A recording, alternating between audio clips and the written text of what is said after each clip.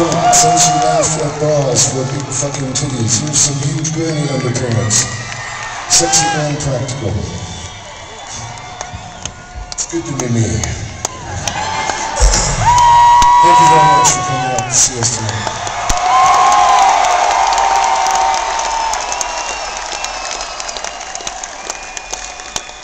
This is the, uh, the last show of the tour.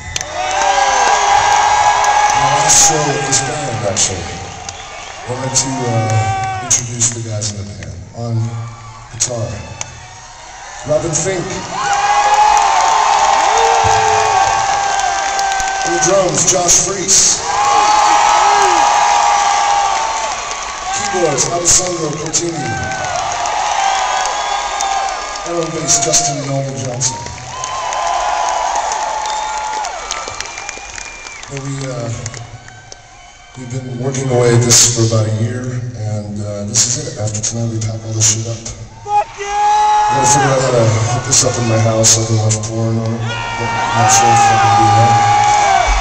But uh, tonight, as some of you may know, is uh, Josh's last night in the band. And also, it's also Alessandro's last night in the band. And I would just like to say thank you to both you guys. I love you. I'm proud to have you as a part of this. Let's hear it guys.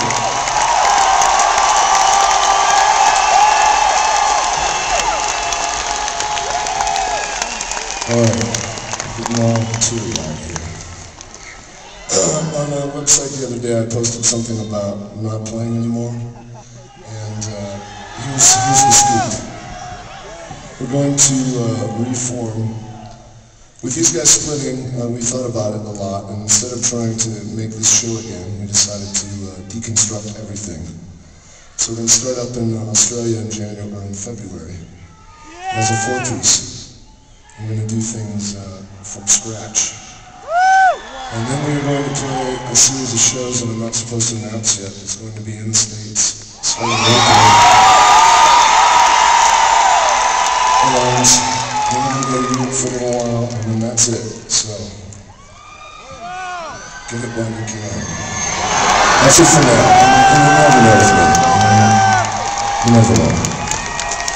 I'd also like to, while I'm rambling on, uh, genuinely thank my crew for putting up with me and being able to pull off this show every night.